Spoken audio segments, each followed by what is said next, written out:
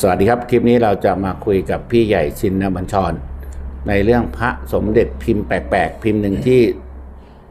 แปลกและเห็นน้อยมากก็คือ พิมพ์พุทธซ้อนที่มีพระอ่าซ้อนกันสององค์ครับ พี่ใหญ่ยังไงครับพิมพ์นี้อ่าอ่าอ่าเดิมทีเลยนะก็คืออย่างอย่างอย่างที่ผมไปมาที่พิษณุโลกอ่านะครับพิพิพิธภัณฑ์พระสมเด็จของครูชาอ่ของอาจารย์ชานะครับ ครับผม แล้วท่านก็ได้มอบรูปนี้มาให้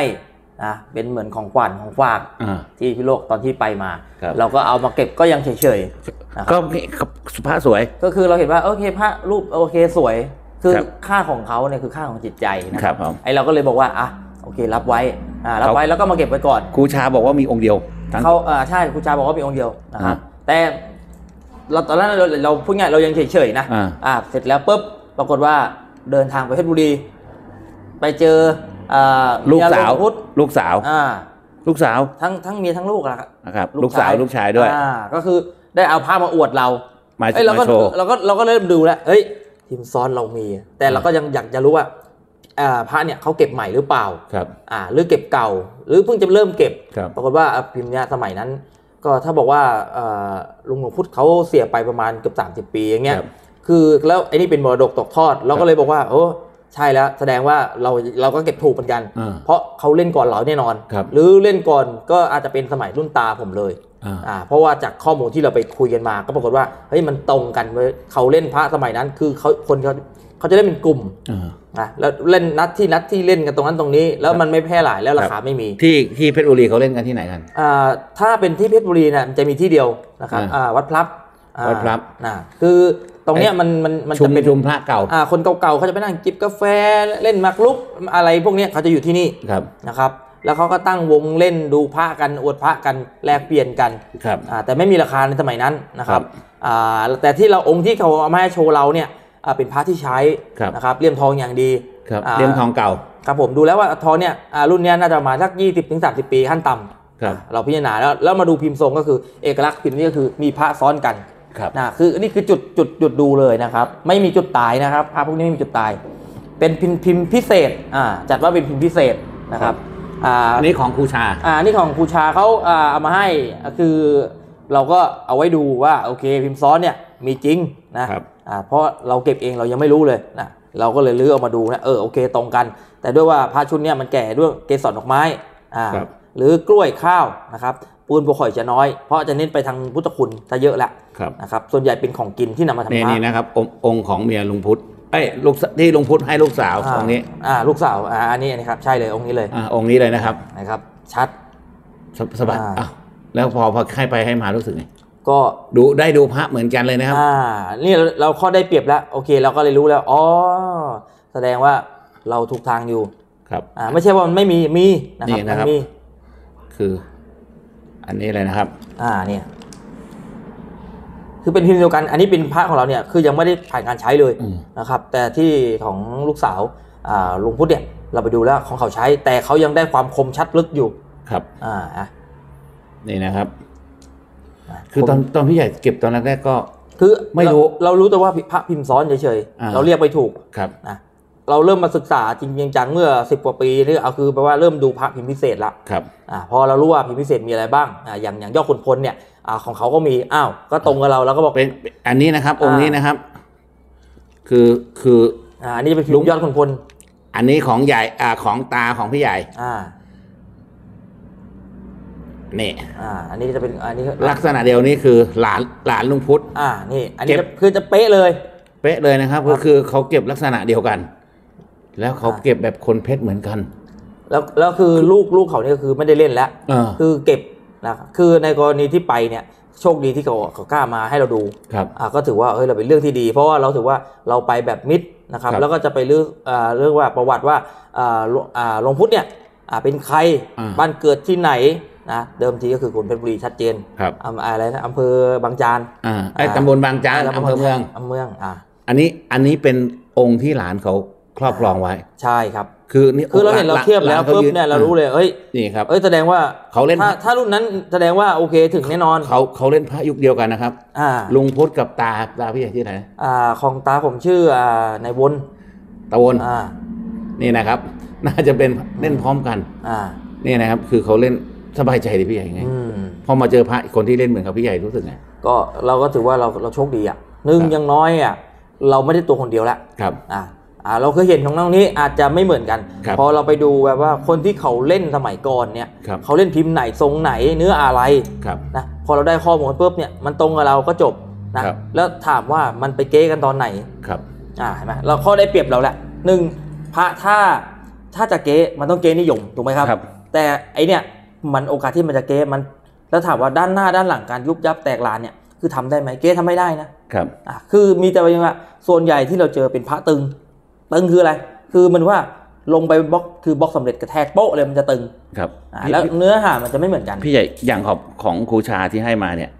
ตอนแรกๆพี่ใหญ่รู้สึกไงอ่าผมตอนที่ได้รูปนี้มาผมวิเคราะห์เลยหนึ่งพระองค์นี้ลงรักมาแน่นอนนะครับครับเพราะว่าดูการแตกลานเนี่ยมันผิดธรรมชาตินิดหนึ่งก็คือรักเนี่ยเข้าไปรัดนะครับครับพอรักเข้าไปรัดปุ๊บเนี่ยมันเกิดช่องว่างครับนะครับแต่เมื่อรักหลุดเมื่อไหร่พระจะเป็นอย่างนี้หมดเพราะแสดงว่าพระแก่ปูนหอยแน่นอนครับนะครับ แล้วก็ผงทุกพุทธคุณอะไรพวกน้ำตั้งอิ่วอะไรเนี่ยมันจะหลุดออกมาให้เราเห็นแล้วครับอ่าเนี่ยจุดจุดสังเกตเราเพราะว่าหนึ่งพระใช้กับไม่ใช้เราจะเทียบเลยครับไม่ใช้มันจะต้องแห้งของมันไปเลย โดยอัตโนมัติคือผิวปลากระเบนนั่นเองครับอ่าแต่ถ้าใช้แล้วหรืออ่าล้างมาเนี่ยพระมันจะเปิดลักษณะนี้หมดเลยครับอ่าอันนี้เราก็โชคดีที่ว่าได้รูปจากอาจารย์ชามาครับ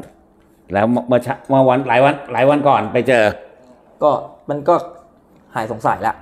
ใช่ไหมคือหายสงสัยทั้งสององค์เลยนะครับคือองค์องค์นี้เขาเป็น ที่เขาว่ายอดขุนพลครับ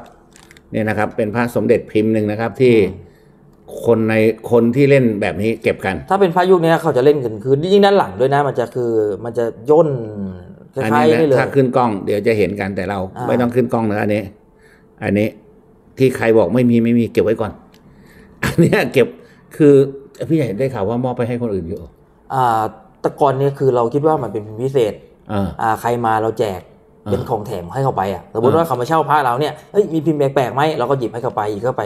อ่าโดยเราก็ที่เหลือเราก็จะมัดถุงเก็บไว้ใต้ลังไม่ได้แล้วเดี๋ยวต่อไปทีนี้พอเราเริ่มรู้อะไรดีๆแล้ว เอ้ยเราก็แจกไปเยอะเหมือนกันนะอ่าอะพอแจกไปเยอะทำไงครับ เราต้องรีบ เฮ้ยตรงแต่ต้องหยุดแล้วไอ้คนที่ได้จากไปนี่เฮแล้วอ่ายิ่งถ้าไม่มีการอ่าเทปออกไปนี่เนี่ยยิ้มกันกิ่มเลยไอ้พวกที่ได้เพรับราะส่วนแจกใหญ่ไปส่วนใหญ่จะเป็น FC ครับที่เอาไปกัน อันนี้นะครับ พิมพ์พุทธซ้อนนะครับที่เคยแจกไป เดี๋ยวนี้แจกไม่แจกไม่ได้แล้วดิ ไม่แจกแล้วครับ เพราะว่าตัวนั้นแจกฟรีจริงเออ แจกฟรีจริง คือเราเห็นว่าเอ้ยผิวมันโอเคแล้วแหละครับ เนื้อโอเคแล้วอะไรเงี้ยเราก็แจกเลย นี่นะครับ พิมพ์แบบนี้เก็บได้นะครับ ดันไปเก็บตรงกับเขาไม่รู้เรื่อง โดย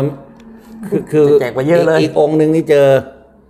เจอที่อันนี้ที่เพชรพิษณุโลก อ่านี่พี่โลกอาจารย์ของอาจารย์ชา อีกอันหนึ่งเราไปเจอที่อ่าของอ่าลูกสาวหลวงพุทธอ่า อ่า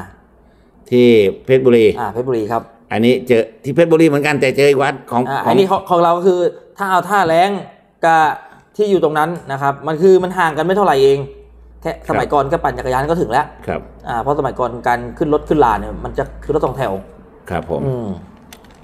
พี่ใหญ่ถ้าเจอพระแบบนี้พี่ใหญ่แล้วเราคนเล่นตรงกันนี่พี่ใหญ่รู้สึกไงคือมันก็ดีนะ ครับ คือมันเหมือนมีเพื่อนเพิ่มอะอ่า จากที่ว่าตัวคนเดียวใช่ไหมอ่าคุยคนเดียว คุยคนเดียว เล่นคนเดียวครับ ปกตินี่เราจะเราก็เออเหมือนคล้ายๆเหมือนคนบ้าพูดง่ายครับแต่พอเราเริ่มมีพวกเลยเฮ้ยมันเราก็ไม่ได้บ้าคนเดียวดีว่าเออคนอื่นเขามีเหมือนกันนะถ้าถูกไหมถ้าถ้าเราเก๊คนอื่นก็เก๊เหมาเราละอ่าเอาเพราะว่าว่ากันตรงขนาดเอ่อรุ่นรุ่นรุ่นตาผมเนี่ยเอ่อถ้าคุยกันแล้วถ้าตาผมเล่นลังนี้ แสดงว่าตาผมมาถูกทางๆเอออ่าส่วนไอ้พวกที่ว่าตีเก้ว่ามันเป็นไปไม่ได้ไม่ใช่ไม่ต้องมากเขามีองค์เดียวเขาแท้ตลอดชีวิตนะอ่าแต่ผมในประเภทที่แบบชอบโชว์อะโช ว์ออฟเยอะไงครับ คือมันต้องให้หลุมเยอะๆนี่นี่ยังหาไม่เจอนะเดี๋ยวจะหาเจอเอาให้หนักกว่านี้เลยครับแต่แต่ยืนยันว่ามีแน่นอนอ่ามีเป็นหลักพันแน่นอนอ่าพัดชุดเนี้ยมีเพียงหลักพันเหรออ่าจริงๆแล้วที่ของเรามีเนี่ยเรารวมไว้ถุงเนี้ยใส่ถุงไว้ก็คือประมาณรวมๆแล้วประมาณ 60 องค์ได้ประมาณ แต่ว่าหลายพิมพ์นะครับอย่างไอพิมพ์ก็ยังบางองค์ก็จะมีไอ้ทรายเงินอ่าอย่างเงี้ยนะมันอยู่ในองค์พระครับนะนะมันมันมันคืออย่างน้อย มันมีไม่มีใครมีแน่นอนไอ้ผ้าอย่างเงี้ยครับเพราะเนื้อไอการใส่ของพวกเนี้ยมันมันมีเอกลักษณ์อยู่แล้วในการใส่ครับ นี่นะครับ คือพระพิมพ์พิเศษ พิมพ์ผู้สอนที่ขันหลังเลยหันหลังเลยหมอนหมุนด้านหลังนะพี่ใหญ่นี่นะครับเห็นไหมมันจะสะท้อนด้านบนเอาจะใกล้กับพระพักตร์อะครับ ครับอ่านี่ก็คือหลักโบราณ ครับ คือเอกลักษณ์เลยนะครับ ครับ พี่ใหญ่ครับเทศกาลแจกพระเป็นไงบ้าง วันแจกพระเอ่อก็ถือว่าประสบความสำเร็จครับนะครับเพราะว่าเราคาดการณ์ว่า 500 พอ แต่มีคนมาประมาณสามพันอ่าจากที่เช็คอะ2,400 กว่า ครับ แล้วก็ยังไม่ได้ลงทะเบียนอีกครับผมอ่าอันนี้ตัวเลขที่ที่ลงชื่อนะครับ อ่าที่ที่ดูในสมุด FC บอกว่าให้จัดวันเสาร์อาทิตย์เขาบอกถ้าเป็นเสาร์อาทิตย์จะดีมาก ครับ ถ้าเป็นวันอาทิตย์ยิ่ง work เลยครับ อ่าเราก็เดี๋ยวไปดูว่าสงกรานต์เนี้ยดูวันสิถ้ามันตรงวันอาทิตย์อ่า ตั้งเป้าว่าจะแจกประมาณสักแสนองค์นะครับแสนองค์สำหรับแสนองค์คนมาร่วมงานเปิดเปิแล้ดวพิพิธรอบภัหน้าณฑ์นี้ก็อ่าจะมีต้นไม้แล้วอ่ามันก็จะล่มแล้วเพราะว่าเมษามันก็จะร้อนครับอ่าก็ต้องดูด้วยว่า